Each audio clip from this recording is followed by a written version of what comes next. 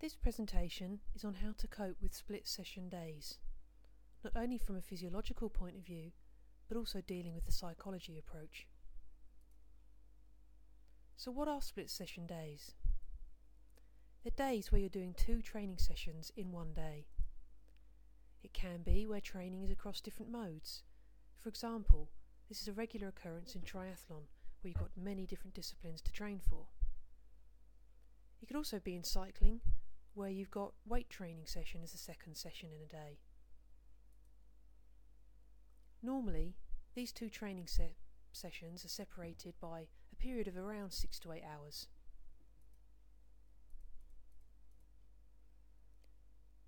Why would we use split session days? Well, firstly, it allows you to do more training.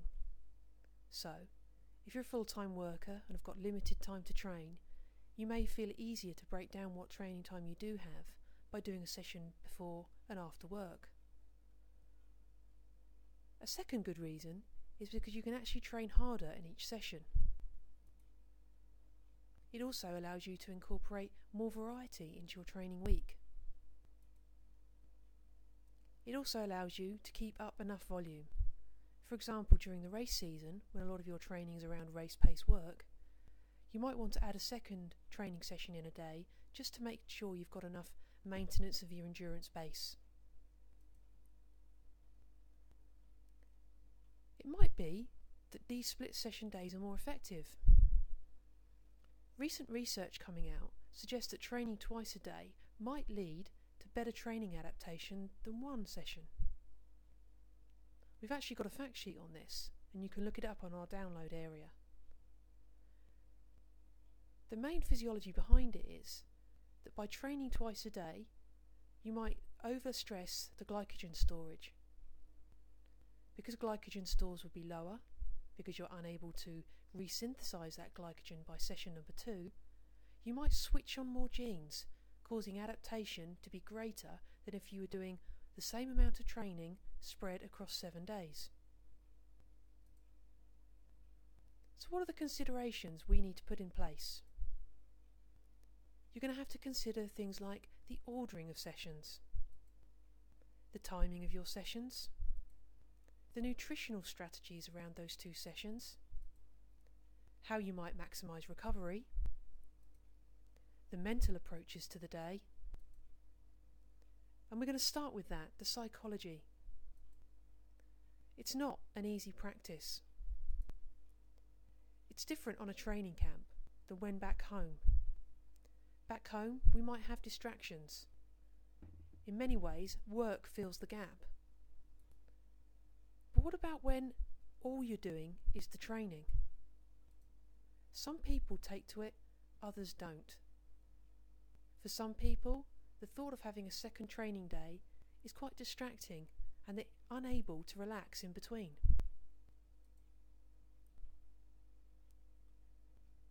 So, going back to our list, at the top of the list there was ordering of the sessions. The order of the sessions is going to depend on a few different things. For example, what are the aims of the day and for the two sessions themselves. Is one ride contributing to training volume? Is there a session out of the two that you would prioritise? Also, have a think about what kind of athlete are you?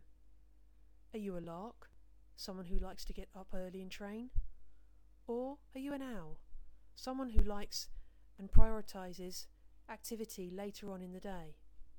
Depending on what kind of person you are, you might find a better time to place your most important session of the day. If you prefer afternoon training, you might well find your best place putting your quality session of the day in that slot.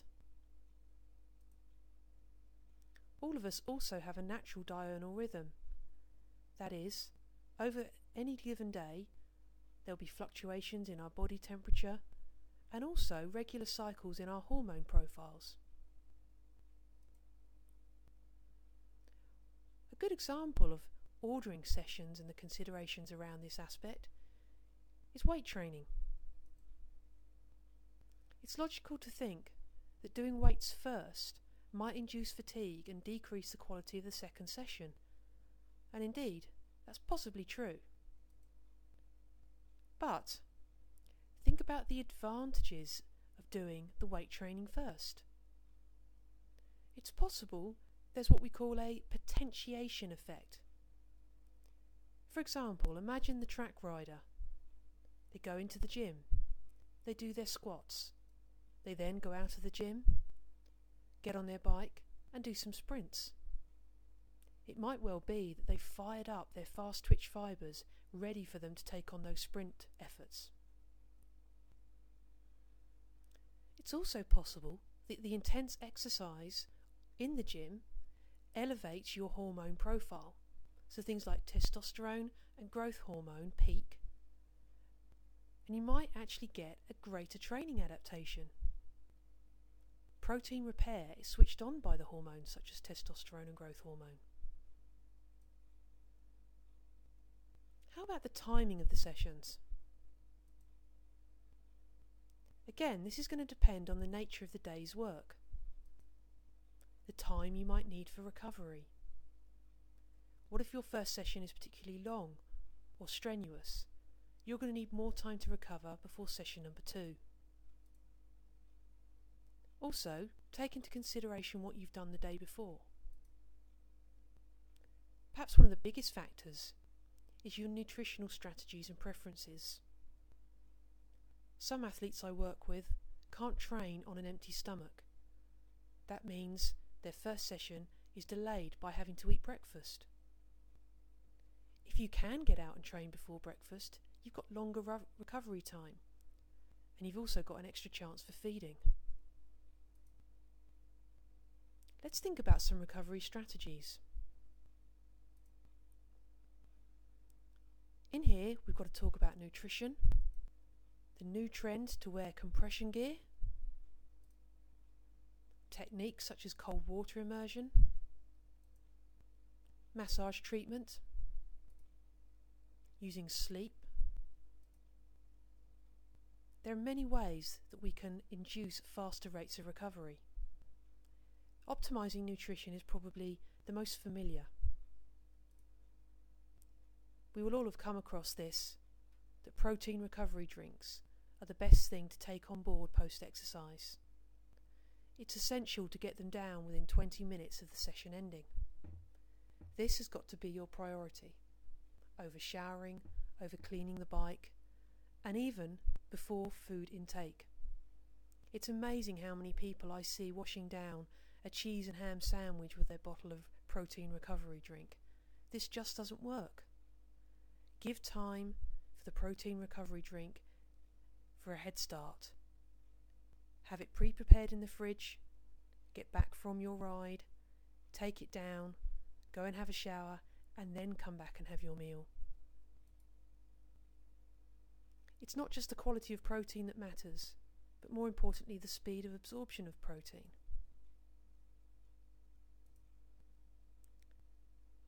Drink I would recommend is Rego Rapid, a special type of Rego recovery drink from Science in Sport. Look at this table, and it might give you an indication as to why you may not want to choose ordinary Rego all the time. For example, look down the left hand side of this table. Rego Rapid has hydrolyzed proteins. These are almost pre digested proteins. It leads to the drink being slightly thinner in consistency, making it quick and easy to drink, and actually quicker to digest. Other things included in this ingredient list are creatine, electrolytes, and also vitamins and minerals, all aiming to accelerate recovery and actually help adaptation. What else do I need to consider? Really get around big meal thinking. It's better to graze, to eat little and often. This not only maintains blood glucose levels, but it also helps optimize the resynthesis of your glycogen stores. It's a bit like drip feeding those calories in over time and stopping any kind of bottlenecks. A big factor is giving consideration to that late afternoon feed. It is good practice to get another meal in prior to your second session. However, do think carefully about its composition. You're going to need something quite carbohydrate orientated rather than something like proteins or fats which are hard to digest.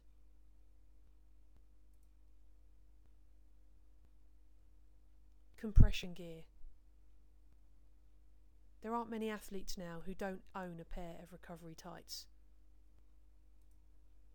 There have been many claims made about compression gear, improving recovery due to that improved circulation, reduced fatigue, reduced muscle damage, even down to heightened pre- uh, proprioception, mainly seen in things like throwing events.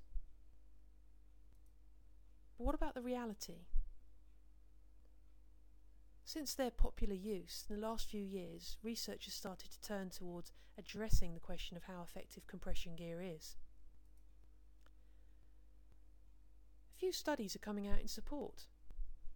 One has found perceived reduced muscle soreness after exercise.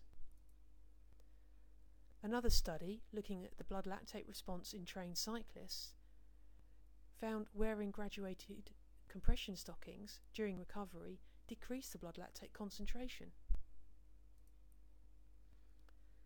The main support for wearing compression gear, though, seems to be anecdotal. It just feels good. And like anything, the placebo effect is huge.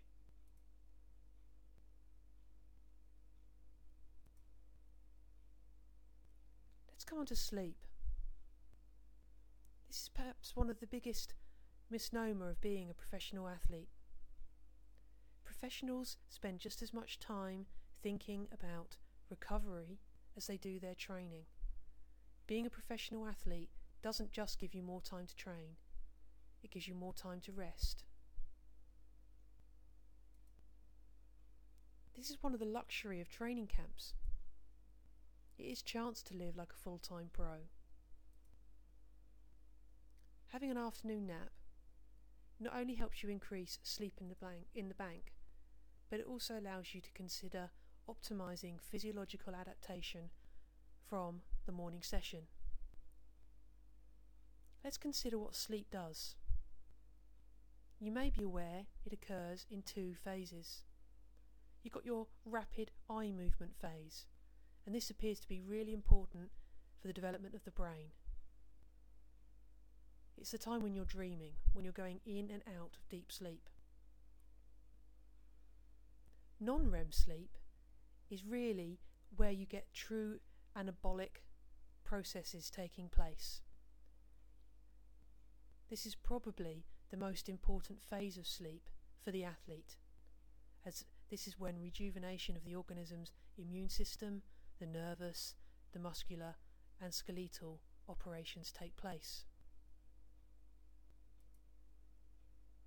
So the big question is how long should you sleep in the afternoon to get these benefits? Well, it seems to take people 20, 75 to 90 minutes to get into non REM sleep. Alongside this, there appears to be a natural release of human growth hormone one hour into sleep. Be careful though, and exert some caution about using afternoon naps. It's best to avoid it after four o'clock in the afternoon. What you don't want to do is to disturb your nighttime sleep, as this has to be the priority, most athletes needing about nine hours. Massage is another popular system used by athletes. It's commonly thought to increase muscle blood flow, decrease edema, swelling, and pain, enhance blood lactate removal, enhance healing, and alleviate any delayed onset of muscle soreness. The reality, though, is that really it's about decreasing inflammation and pain, and also alleviating delayed onset of muscle soreness. Some studies have shown that serum creatine kinase and myoglobin concentrations are significantly higher when you've had massage. That shows that you're helping release those materials from the muscle into the blood for clearance.